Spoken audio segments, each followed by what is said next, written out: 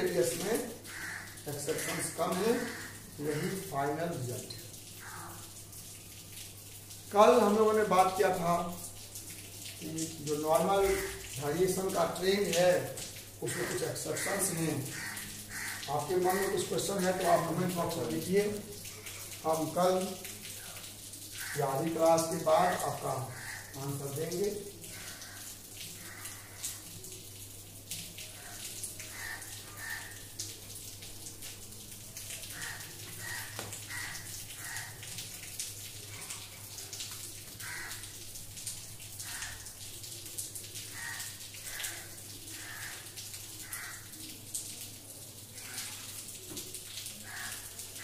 अब हम चलते हैं दूसरा पैरामीटर जिसका नाम है इंथैल्पी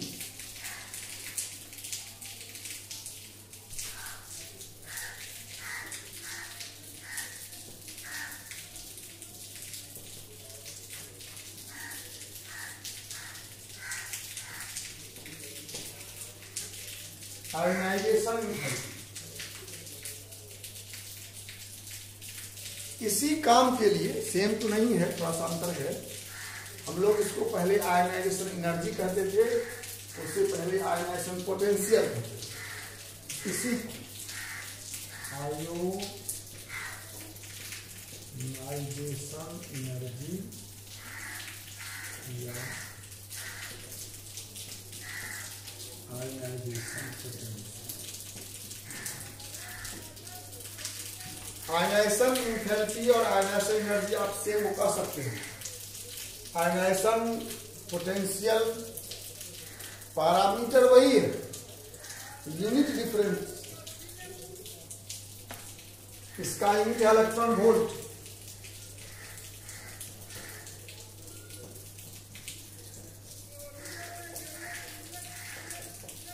और इसका यूनिट है किलो जूल पर मोल या जूल पर मोल।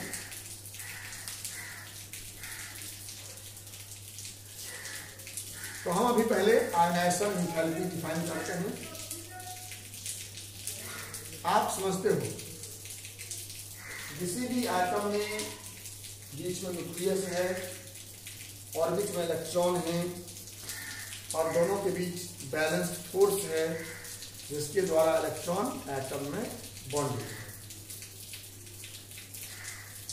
तो अगर हम उस इलेक्ट्रॉन को वहाँ से निकालना चाहेंगे तो we have to apply some force और we have to supply some energy तो किसी एटम के आउटर मोस्ट ऑर्बिट के इलेक्ट्रॉन को निकालने के लिए जितना मिनिमम एनर्जी देना पड़ेगा, उसे कहते हैं आयोनाइजेशन मतलब अगर हमारे पास सोडियम एटम है गैस स्टेट में, हम इसको सोडियम प्लस गैस बनाना चाहते हैं तो इलेक्ट्रॉन निकालेंगे, हमको इसमें एनर्जी देना है। इसी एनर्जी का नाम आयोनाइजेशन इंथैल्पी है। अब देखिए definition the minimum amount required to release an electron from an isolated gaseous atom is called ionization enthalpy. I repeat again. Amount of energy required to release an electron from an isolated gaseous atom is called ionization enthalpy. ठीक है? किसी isolated gaseous atom से एक electron निकालने के लिए जितना energy देना पड़ता है मिनिमम उसका नाम आयोनाइजेशन एंथैल्पी है। ये सोडियम गैसेस एटम दो वर्ड बोला मैं ध्यान दीजिएगा। Isolated gaseous atom what isolated means isolated means अकेला, एक, अलग किया हुआ बल्क नहीं। सोडियम के टुकड़ा ले लेंगे उसको एनर्जी देंगे, उसमें से इलेक्ट्रॉन निकलेगा वो आयनस से एंथैल्पी नहीं है। अकेला एक एटम सोडियम अकेला आइसोलेटेड और दूसरा जो टर्म है, वो तो अंडरस्टूड है। अकेला एटम तो गैस में ही मिलेगा। सॉलिड लिक्विड में अकेला एटम मिलेगा ही तो गैस अवस्था में अकेला एक एटम है, उसको हम एनर्जी दिए इलेक्ट्रॉन निकला उस गैस बनने के बाद, एक एटम बनने के बाद, उसमें जो इलेक्ट्रॉन देना पड़ा, उसका नाम है ionization you can say ionization energy energy का जो यूनिट है, वो इसका यूनिट है। ज़ीरो किलो जूल और इसको परमोल बोलते हैं। एक मोल। यूनिट का परमोल ठीक है? अब, इसी एटम से अगर हम पहला इलेक्ट्रॉन निकालते हैं तो उसको आई फ़र्स्ट कहते हैं। एक इलेक्ट्रॉन निकाल लिए। मोनो पॉजिटिव केटाइन बन गया। उससे दूसरा इलेक्ट्रॉन निकालेंगे। उसको आई सेकेंड कहेंगे दो इलेक्ट्रॉन निकल गया। डाई पॉजिटिव आयन बन गया। उससे तीसरा इलेक्ट्रॉन निकालेंगे। उसको आई थर्ड कहेंगे जैसे देखिए।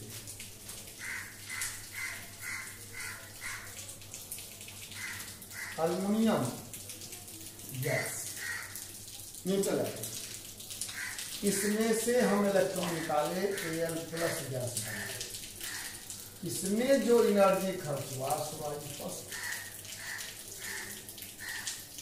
अल्युमिनियम प्लस गैस से हम बनाए अल्मोनियम टू प्लस गैस इसमें जो एनर्जी खर्च हुआ so I second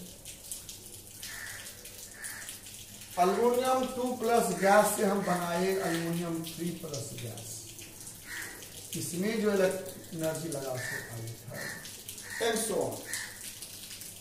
neutral atom से मोनोपॉजिटिव कैटाइन बनाए, उसमें जो एनर्जी खर्च हुआ आई फ़र्स्ट मोनोपॉजिटिव कैटाइन से दूसरा इलेक्ट्रॉन दो नहीं, दूसरा सेकेंड एक निकल चुका था। उसमें जो एनर्जी खर्च हुआ सो आई सेकेंड और डाई पॉजिटिव आयन बन गया इसमें से तीसरा इलेक्ट्रॉन निकाले, तीसरा, दो निकल चुका। था उसमें एनर्जी खर्च हुआ सो आई और एक जवाब दीजिए आप अगर हम अल्मोनियम से अल्युमिनियम थ्री प्लस बनाएँगे अल्मोनियम गैस से अल्युमिनियम थ्री प्लस गैस बनाएँगे इसमें जो एनर्जी खर्च हुआ, उसका नाम क्या होगा? लिखिए आंसर कमेंट बॉक्स में। अल्मोनियम गैस से अल्मोनियम थ्री प्लस गैस बनाए, उसमें जो एनर्जी खर्च हुआ, उसका क्या नाम देंगे हम? आई फ़र्स्ट आई थर्ड ये और कुछ? बताओ। इसका नाम क्या होगा बताओ? Aluminium gas aluminium three plus gas हुआ। इसका नाम होगा I first plus I second plus तीन इलेक्ट्रॉन निकला ना तो पहला भी निकला दूसरा भी निकला तीसरा भी निकला उसमें कुल कितना एनर्जी खर्च होगा तीनों का सम के बना सोचो ना किसी दुकान में तुम कुछ खरीदते हो एक सामान खरीदे उसका दाम दिए फिर दूसरा लिए उसका भी दाम दिए फिर तीसरा लिए उसका भी दाम दिए अगर कोई आदमी तीनों सामान एक ही बार लेगा, कितना दाम देगा? तीनों को जोड़ के। वही बातें यहाँ है, यहाँ अलग अलग लिखे हैं। यहाँ पे साथ लिखे चलिए तो हम लोग चलते हैं अब, जो हमारा फोकस है। Factors affecting ionization in value कौन कौन से कारण हैं जिस पर आयनाइजेशन इंटेंसिटी का वैल्यू डिपेंड करेगा वैरी करेगा?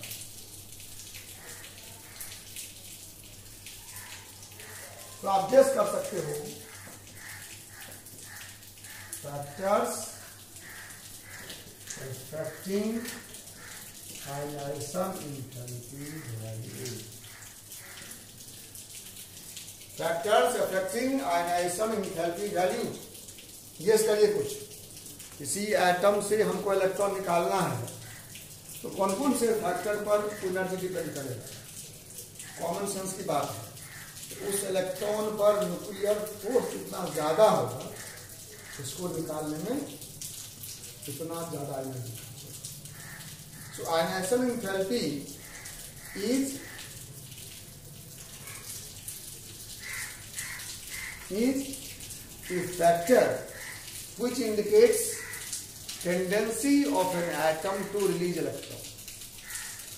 जिस एटम को इलेक्ट्रॉन रिलीज़ करने का टेंडेंसी ज़्यादा है इलेक्ट्रॉन छोड़ना चाहता है, वो कम एनर्जी देगा जिसको इलेक्ट्रॉन छोड़ने की टेंडेंसी नहीं है इलेक्ट्रॉन निकालना नहीं चाहता है, वह ज़्यादा एनर्जी देगा सोचिए ना। कोई आदमी कुछ बेचता है तो अगर वह जल्दी बेचना चाहता है तो सस्ता बेच लेता है।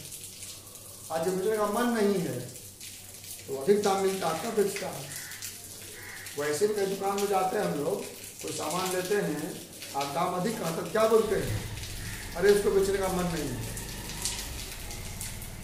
वही बात है एटम बस इलेक्ट्रॉन है अगर वो छोड़ना चाहता है तो कम एनर्जी ले अगर नहीं छोड़ना चाहता है तो एनर्जी ले तो हम लिखेंगे tendency to release electron inversely proportional to ionization. Ionization से ज़्यादा है इसका मतलब? टेंडेंसी टू रिलीज़ इलेक्ट्रॉन कम है। इसका मान कम है, इसका मतलब इसका टेंडेंसी ज़्यादा है।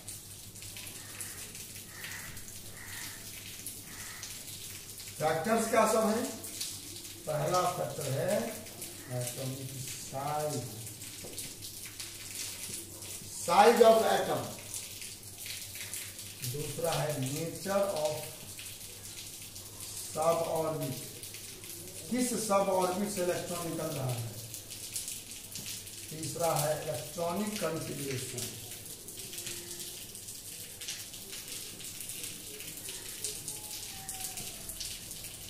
और चौथा है इफ़ेक्टिव यही असली है. Effective nuclear charge the are the four factors on which ionization enthalpy depends कौन सा size of atom nature of sub orbit electronic configuration और इफ़ेक्टिव न्यूक्लियर चार्ज साइज़ को कैसे डिपेंड करता है? सोचो। ये बीच में न्यूक्लियस है, और यहाँ पर इलेक्ट्रॉन यहाँ पर electron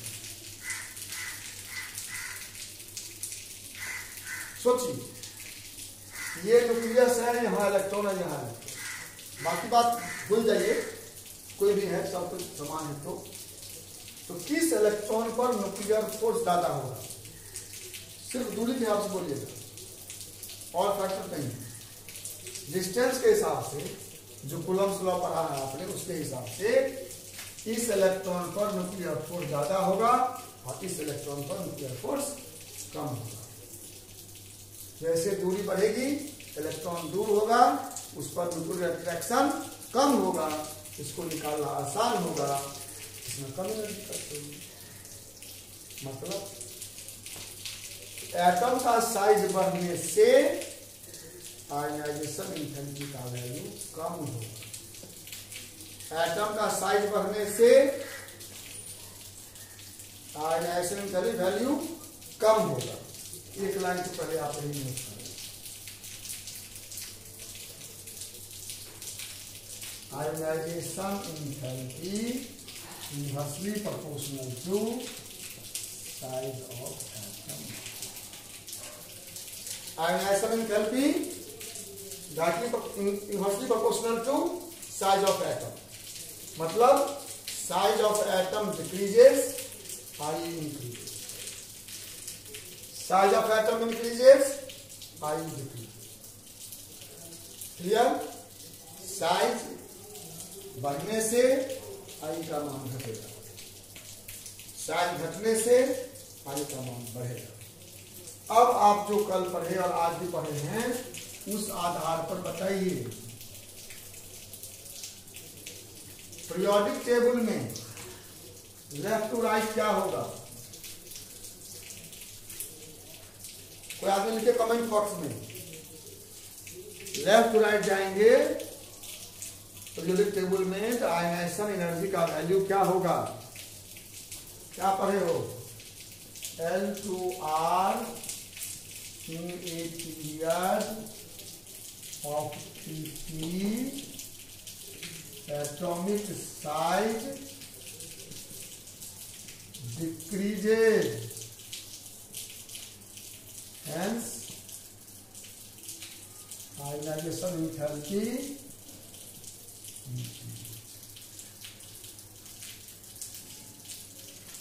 From left to right, the period of periodic table, atomic size decreases, ionization enthalpy increases. मैं एक बार हर दिन कहता हूँ ये जनरल ट्रेंड है देर वेरी वेरियस एक्सेप्शंस अपवाद होंगे बात करेंगे हम लोग अभी और जो याद रखे एक्सेप्शन है ना, वो सारे क्वेश्चन हैं। जनरल ट्रेंड ये हुआ, जब लेफ़्ट राइट जाएँगे तो आने से एनर्जी बढ़ता जाएगा। और top to bottom in a group of PT atomic size increases hence ionization enthalpy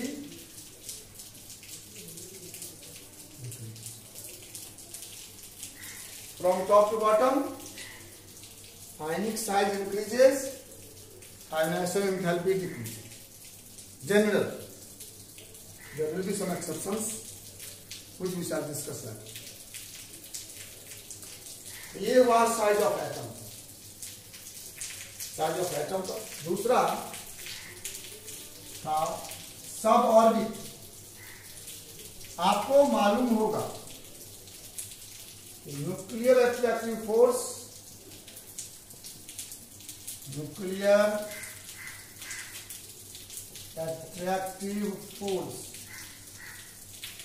on S greater than P greater than D greater than F.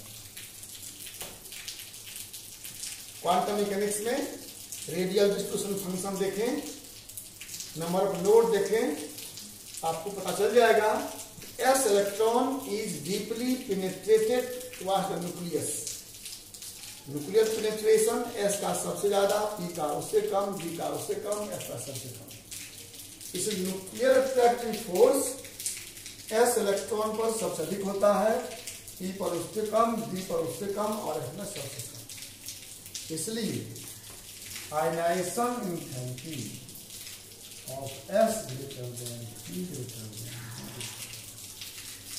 S electron निकालने में अधिक एनर्जी खर्च होगी ई में उससे कम होगा डी में उससे कम होगा एफ़ में सबसे कम होगा। अदर फैक्टर्स कांस्टेंट है तो अगर हम सिर्फ़ नेचर ऑफ़ ऑर्बिटल पर विचार करेंगे। ठीक है? तो nuclear force S greater than P greater than D greater than F इसलिए energy enthalpy of S greater than P greater than D greater than तीसरा फैक्टर है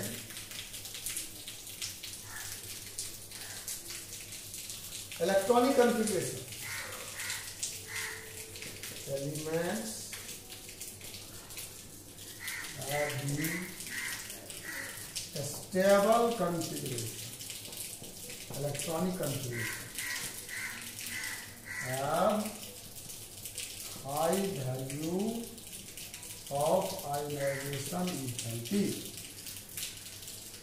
जिस एलिमेंट का इलेक्ट्रॉनिक कॉन्फ़िगरेशन स्टेबल है स्टेबल समझते हैं आप S2 लास्ट में S2 है P6 है या P3 है D5 है D10 है F7 है 40 है मतलब हाफिल फुलफिल्ड है, वो मोर स्टेबल है। वहाँ से इलेक्ट्रॉन निकालना कठिन होता है, उसमें ज़्यादा एनर्जी खर्च होती है। क्लियर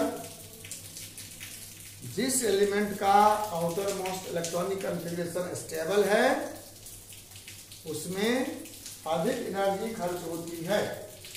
हम देखेंगे आगे जब हम बात करेंगे lithium beryllium boron carbon nitrogen oxygen fluorine हम लेफ़्ट राइट जाते हैं। तो हमने क्या पढ़ा? हमने पढ़ा कि लेफ़्ट टू राइट जाएँगे तो आयनाइजेशन इंथली बढ़ता जाएगा।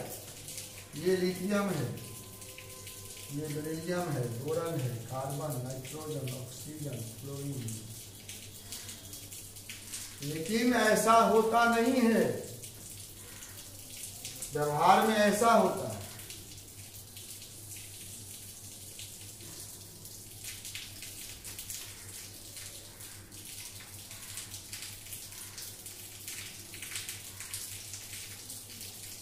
ऐसा हो।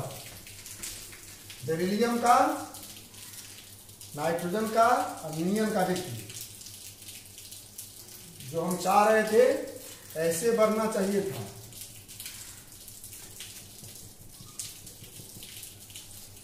ऐसे रेगुलर ट्रेंड नहीं है। तीन का एबनॉर्मली हाई है। किसका? बेरिलियम का नाइट्रोजन का नियोन का। गौर कीजिए क्यों? बेरिलियम कॉन्फ़िगरेशन क्या है लास्ट में? Two S two one S two two S two और नाइट्रोजन में क्या है लास्ट में? Two P three one S two two S two two P three और नियन में क्या है? टू पी सिक्स तो जिसका स्टेबल कॉन्फ़िगरेशन है, उससे इलेक्ट्रॉन निकालना कठिन है, अधिक एनर्जी खर्च होगा, उसके आई का वैल्यू बड़ा होगा। आपसे क्वेश्चन पूछेगा कि I first of beryllium greater than boron why या I first of nitrogen greater than oxygen why या I of neon is very large why आप क्या जवाब देंगे? आप जवाब देंगे beryllium has stable electronic configuration 2s2 so, its ionization enthalpy is abnormally large. Same nitrogen के लिए सेम ये है इलेक्ट्रॉनिक कन्फिग्रेशन जिसका इलेक्ट्रॉनिक कन्फिग्रेशन स्टेबल उसके आई का मान बड़ा है। हम आगे देखेंगे, फिर आई टू बदल जाएगा। बात करेंगे उस पर अंतिम है अब जो फाइनल है। वो है effective nuclear charge effective nuclear charge जानते हैं आप जेड स्टार बराबर Z minus S Slater's rule से निकालते हैं। वैसे रूल बहुत परफेक्ट नहीं है। लेकिन मैंने पहले भी कहा था अप्रोक्सीमेशन से अपना काम चलाते हैं हम लोग। जेड स्टार है effective nuclear charge effective nuclear charge Z है एटॉमिक नंबर मतलब न्यूक्लियर चार्ज टोटल और एस को बोलते हैं सिल्डिंग कांस्टेंट या स्क्रीनिंग कांस्टेंट इसी का नाम है।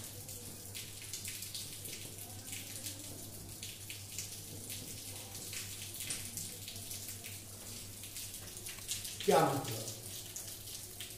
इफ़ेक्टिव न्यूक्लियर चार्ज का क्या मतलब? मतलब देखिए सिंपल है।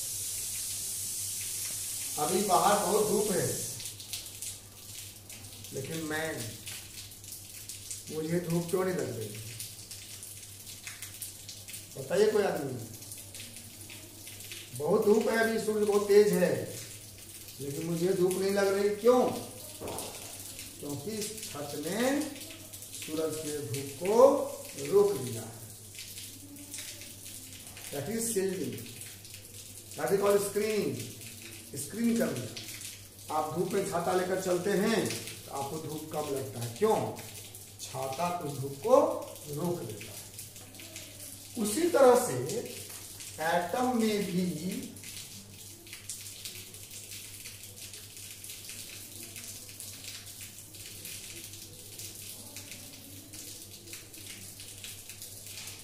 ये न्यूक्लियस है। हम सोडियम का एग्जांपल लिए हैं। सोडियम का एग्जांपल लिए हैं ग्यारह प्रोटॉन है। फ़र्स्ट ऑर्बिट दो इलेक्ट्रॉन, सेकेंड में आठ इलेक्ट्रॉन और थर्ड में एक इलेक्ट्रॉन। तो यह एक इलेक्ट्रॉन इस ग्यारह प्रोटॉन के कारण जो एट्रैक्शन होना चाहिए, उसको एक्सपीरियंस नहीं कर रहा है, उससे कुछ कम कर रहा है। क्यों? ये जो इलेक्ट्रॉन है बीच में, वो कुछ रोक लेते हैं, पर्दा का काम करते हैं सील कर देते हैं। इस पर न्यूक्लियर फोर्स कुछ कम लगता है। तो जितना न्यूक्लियर फोर्स इस पर लगता है, उसी को हम कहते हैं इफ़ेक्टिव न्यूक्लियर चार्ज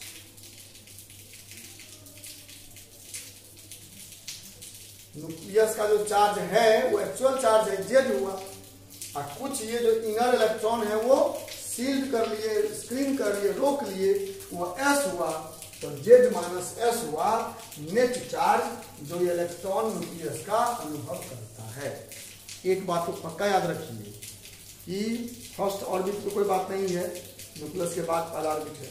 उसके बाद जितने भी ऑर्बिट में इलेक्ट्रॉन है, वो न्यूक्लियर फोर्स को कम एक्सपीरियंस करते हैं, जितना न्यूक्लियस में पॉजिटिव चार्ज है उससे that is all effective nuclear charge effective प्रभावी, जितना वास्तव में वो अनुभव कर रहा है। और उसी पर असली डिपेंड करता है आयोनाइजेशन अगर न्यूक्लियस का इफ़ेक्टिव फोर्स ज़्यादा होगा ज़्यादा खर्च होगा इफ़ेक्टिव फोर्स कम होगा तो एनर्जी कम खर्च होगा। तो हम लिखेंगे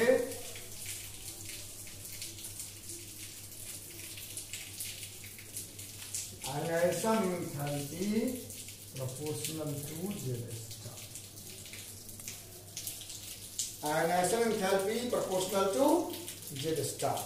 Effective nuclear charge बढ़ेगा आयनाइजेशन बढ़ेगा, घटने से घटेगा तो चार फैक्टर हुए पहला एटॉमिक साइज़ एटम के साइज़ का इनवर्स प्रोपोर्शनल है तो साइज़ बढ़ने से आई का मान घटता है। दूसरा नेचर ऑफ़ ऑर्बिटल जिसमें इलेक्ट्रॉन निकाल रहे हैं।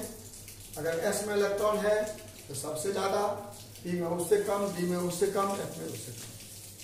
तीसरा है कंफिग्रेशन जिस एलिमेंट का इलेक्ट्रॉनिक कंफिग्रेशन स्टेबल है, उसके आई का मान ज़्यादा होता है। और चौथा है इफ़ेक्टिव न्यूक्लियर चार्ज जिसका इफ़ेक्टिव न्यूक्लियर चार्ज ज़्यादा होगा, अगर दो तीन मेटल एलिमेंट लिया हुआ हो, आप स्टार निकालिए जिसका स्टार बड़ा होगा, उसकी आई का मान बड़ा होगा। और इस रूल में कुछ एक्सेप्शन हैं एक एग्ज़ाम्पल हम बताए थे आपको, कैसे आप एक्सेप्शन मिलेंगे, उसमें जहाँ समझ नहीं आए, आप हमसे क्वेश्चन पूछेंगे। कमेंट बहुत कम आता है जनरल कमेंट मतलब जनरल कमेंट में इसकी पढ़ाई में क्या दिक्कत हो रही है। इसमें सुधार तो हम लगातार कर रहे हैं और हम चिंतित हैं ये जो हम लिखते हैं, वो आपको दिखे, आप उसको देख कर लिख सकें। हम उसका बोले, धीरे बोले कि आप आसानी से लिख सकें। ये सुधार हम कर रहे हैं। हमें फीडबैक चाहिए, आप जो पढ़ते हैं, उस संबंध में क्वेश्चन आता है, वो क्वेश्चन पूछिए। उसका जवाब देने में खुशी होगी। और इसके अलावा हमारा पीजी क्लास डॉट कॉम चल रहा है। पार्ट वन के लिए उसमें यही है एडमिशन बहुत कम हुआ। अभी तक मात्र उन्नीस बच्चे का एडमिशन हुआ है। उसमें आपने दोस्तों को बताइए, बोलिए। तो वो लॉग इन करे, खुद भी कर सकता है। उसमें रजिस्टर में जाएगा स्टूडेंट को करेगा, हमको मैसेज आएगा, हम उसको कोड देंगे, उसका एडमिशन हो जाएगा। नहीं तो अपना, हमको ईमेल अपना नाम पिताजी का नाम, अपना एड्रेस, कॉलेज का नाम, रोल नंबर, फ़ोन नंबर और ईमेल। ईमेल मस्त है। ईमेल भेजेगा तो हम उसका एडमिशन ले लेंगे और उसको कन्फर्मेशन जाएगा स्टूडेंट को पढ़ाना है, उसमें भी हमने मटेरियल डाल भी दिया है, उसको आप पढ़िए, उसमें आप क्वेश्चन हो तो हमसे पूछिए। और तीसरा, आज से हम कोशिश कर रहे हैं, बहुत दिन से कर रहे थे, सफल नहीं हो रहे थे यूट्यूब चैनल स्टार्ट करेंगे। यूट्यूब पर भी आप P M Mishra chemistry class या P M square chemistry class का यूट्यूब चैनल देखिए, उसको सब्सक्राइब करिए। उसमें प्रॉब्लम है कि जब जितना अधिक सब्सक्राइब होगा, उतना ज़्यादा वो लाइव हो पाएगा। अभी लाइव नहीं होता एक हज़ार सब्सक्राइबर होंगे, तभी वो लाइव हो पाएगा। इसलिए आप खुद भी अपने घर में जो आपका मोबाइल है, उससे भी और अपने दोस्तों को भी कह के सब्सक्राइब करिएगा। एक हज़ार जब हो जाएगा तभी उसको हम लाइव आ पाएँगे और यूट्यूब चैनल हो सकता है, इससे बेटर हो। तो हम सारा दिख रहे हैं और आज हम जूम आप अभी ट्राई करें करने का। तो हम खोज रहे हैं बेहतर से बेहतर कोई फॉर्म मिले जहाँ से हम उन बच्चों को जिनके पास इंटरनेट है। मैं इस बात से कन्विंस हूँ कि हमारे सारे बच्चे नहीं पढ़ रहे हैं। हमारे गाँव में ऐसे बहुत सारे बच्चे होंगे जिनके पास एंड्रॉयड फ़ोन नहीं होगा लैपटॉप नहीं होगा इंटरनेट सुविधा नहीं होगी। वो नहीं पढ़ पा रहे, उनकी चिंता भी मुझे है। कोई रास्ता नहीं मिल रहा है। ये जो ही कॉलेज खुलेगा, हम उनको भी हेल्प करेंगे। स्पेशल क्लास करा देंगे उनके लिए, कोई चिंता की बात नहीं है। लेकिन जिनके पास ये सुविधा है, वो तो लाभ उठाइए वो तो पढ़िए और पढ़ेंगे तो आप क्वेश्चन होगा। आप क्वेश्चन पूछेंगे तो फीडबैक मिलेगा आप पढ़ रहे हैं। और अधिक से दोस्तों को बताइए कि वो आएँ और इसका लाभ उठाएँ।